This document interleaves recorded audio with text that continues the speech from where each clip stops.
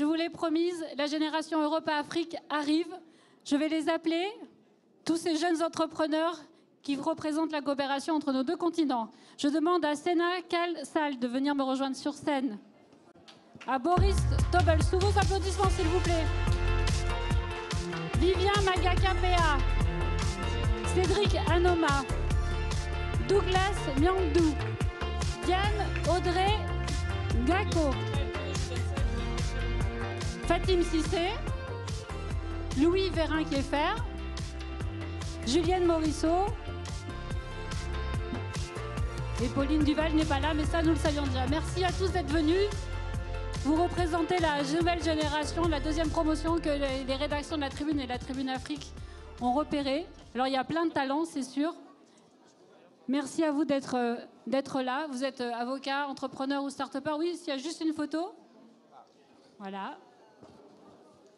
Et à euh, Génération Exceptionnelle, parrain exceptionnel, je vous demande d'accueillir sous les applaudissements Pablo Longoria, le président de l'Olympique de Marseille. Allez, vous pouvez faire mieux que ça, imaginez-vous au stade.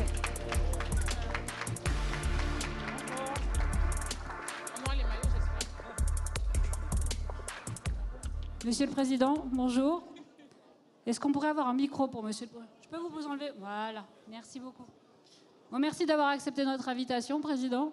Bon, merci à vous et bonjour à toutes et à tous. Alors finalement, l'OM représente cette euh, coopération euro-africaine. Vous êtes euh, très impliqué avec l'Afrique. Et euh,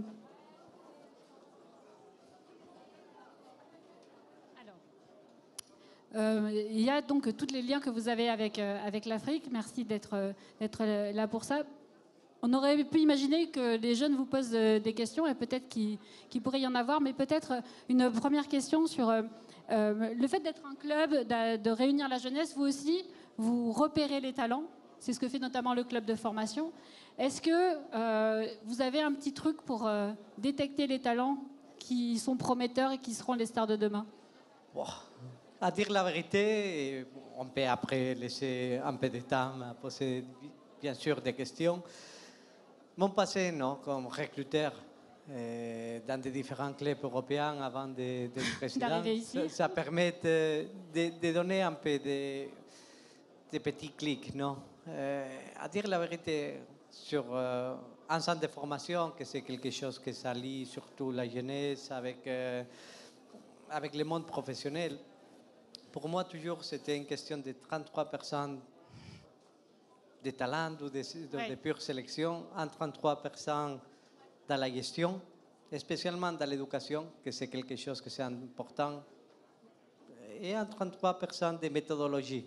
Ces 33% de méthodologie, c'est le travail que tu fais dans le quotidien, comment tu cherches à t'améliorer. Mais c'est surtout très important de savoir que pour travailler dans le quotidien et de te former dans le quotidien, il y a aussi un component que c'est l'éducation, comment tu es comme personne, comment tu es géré par des différents gens dans ton environnement, il y a quelque chose de spécial. Parce que quelqu'un entre nous, on a des talents qui sont différents. On a des talents qui sont uniques. Et c'est de savoir les identifier. Pour moi, c'est toujours trouver quelque chose euh, dans les personnes où tout le monde il excelle.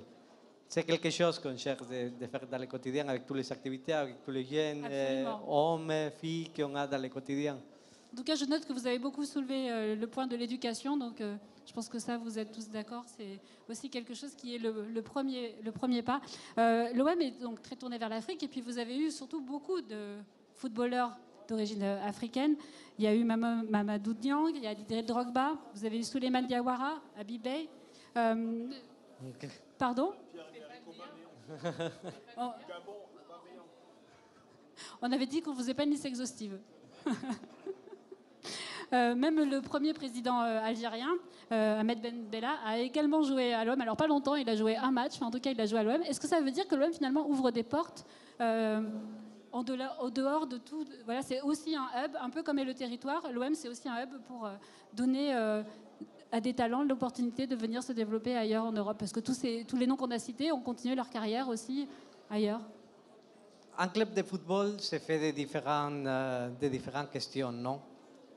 On joue au football, on a des résultats, on est jugé toutes les semaines, mais il y a quelque chose que ça reste, que c'est toujours euh, qu'on fait du football pour tous les liens sociaux que tu crées, avec les supporters, avec les territoires, avec les sens d'appartenance des supporters envers l'équipe, mais il y a quelque chose que ça reste, que c'est la passion pour le football. Je crois qu'un club de football comme l'Olympique de Marseille, ça crée des liens spéciaux avec euh, la communauté.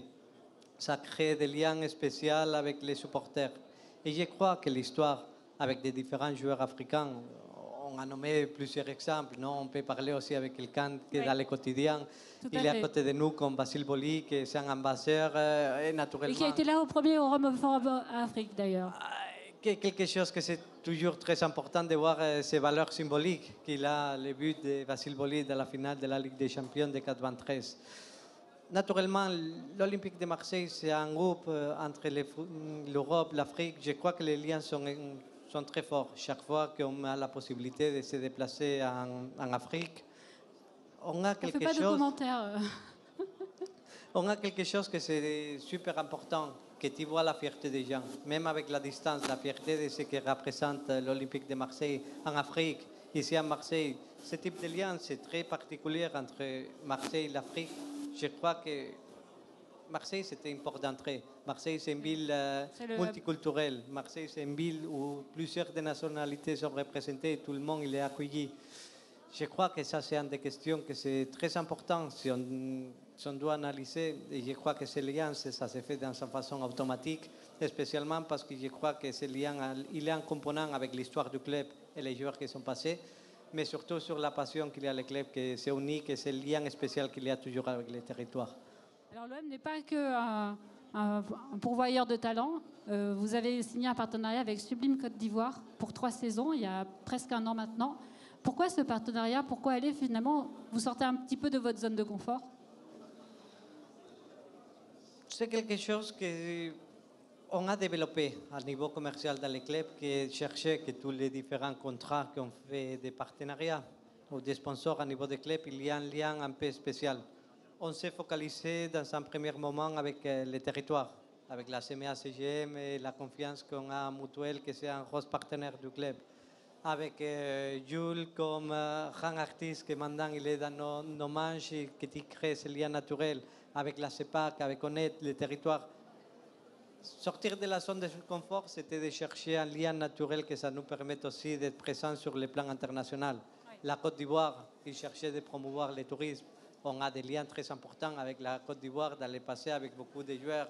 On a nommé Didier Drogba, on a nommé Basile Boli, on peut nommer aussi Abdoulaye Mite, on peut nommer Faki Kone, on peut nommer plusieurs joueurs euh, ivoiriens qui ont fait l'histoire euh, du club. Au même moment, le ministère du Tourisme, autour de ces partenariats de Sublime Côte d'Ivoire, il cherchait un partenaire pour promouvoir le tourisme, pour euh, promouvoir les valeurs du pays. Et je crois que le lien se fait automatiquement avec ce que l'Olympique de Marseille représente en Afrique et ce qu'on peut promouvoir parce que fièrement on, croit dans tous ces liens qu'il peut créer un partenariat. Pour rester peut-être dans l'actualité la plus proche, il y a ce t-shirt que vous avez sorti avec, euh, avec votre équipementier, avec Puma, qui, justement, qui met aussi en valeur l'Afrique. C'est aussi une façon de permettre au territoire, aux entreprises du territoire de travailler, parce que c'est ce que vous promouvez en disant, c'est finalement, c'est aussi une façon de permettre à l'écosystème ici de petites entreprises de bénéficier de ce que peut faire l'OM d'une autre façon sur le volet économique Complètement, et je crois que c'est une des choses qui fait la force de l'Olympique de Marseille créer ce type de lien dans une façon naturelle. Puma, comme partenaire majeur, c'est un partenaire historique avec beaucoup d'importance dans les territoires africains. On l'a vu dans des différentes compétitions. Si vous suivez le football, comment Puma, c'était un des marques les plus engagées envers l'Afrique. C'est que l'Olympique de Marseille représente l'Afrique, c'est quelque chose d'important, spécialement toute la passion, tous les supporters qu'on a, tout, comment tu vois la fierté des gens dans les moments qu'il y a match ou il y a quelques types d'activités organisées par euh, le club.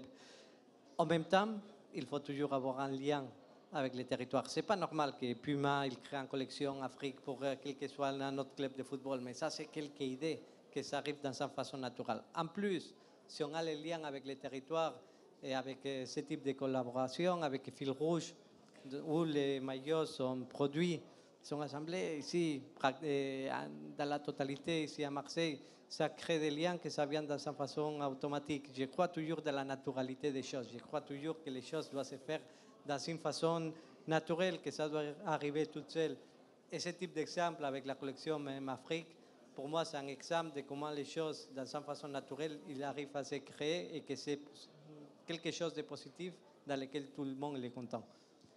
Peut-être euh, un, conseil pour les entrepreneurs. Euh, eux, ils ont déjà entrepris, ils ont avocats, ils, ont, sont à la tête d'entreprise. Il y en a qui travaillent dans l'énergie, euh, qui travaillent dans le numérique. Ce sont des, thèmes qu'on a développés ce matin. Si le, président du club avait un, mot à donner à tous ces entrepreneurs, ce serait lequel? C'est difficile hein, de, donner des exemples, mais pour moi, la chose. Je vais chercher de faire, pas mal. je vais chercher de faire à, niveau, à niveau personnel. Je crois que la vie, c'est toujours une question de mettre en bilan toutes les différentes activités qu'on commence. Ça commence pour avoir information en continuation. Je crois, et c'est l'exemple que je donne toujours à toutes les équipes, même aux joueurs de football, tout change très vite dans ce monde actuel.